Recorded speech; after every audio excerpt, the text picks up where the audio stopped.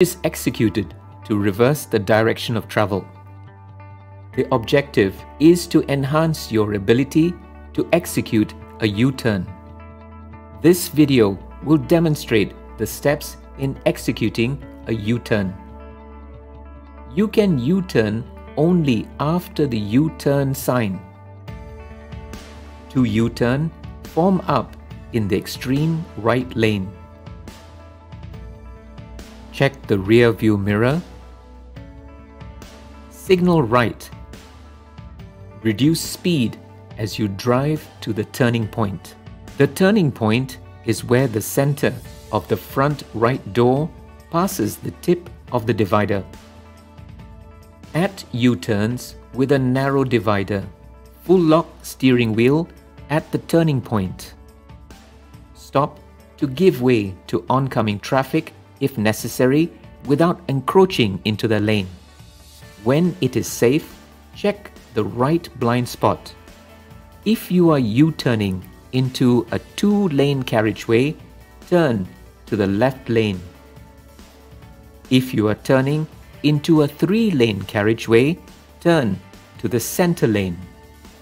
At U-turns with a wide divider, Turn the car according to the curvature of the divider. Stop to give way to oncoming traffic if necessary without encroaching into the lane. When it is safe, check the right blind spot and turn into the lane nearest to the divider.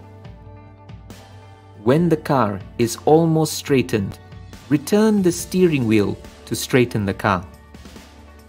Change back to the left lane as soon as it is safe to do so.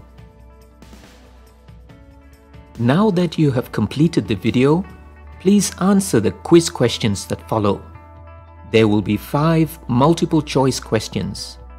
After the questions and options are shown, you will be given five seconds to answer each question. Quiz questions 1. Which of the below is the turning point when making a U-turn? A. The car bonnet passes the edge of the right curb.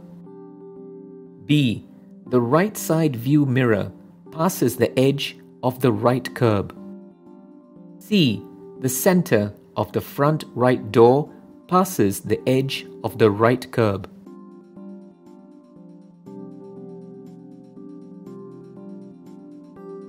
C. The center of the front right door passes the edge of the right curb. 2. At which place can you execute a U-turn? A. At junctions or openings where there is a U-turn sign. B. At any junction or opening that is wide enough to do so. C. At any junction or opening as long as it is safe to do so.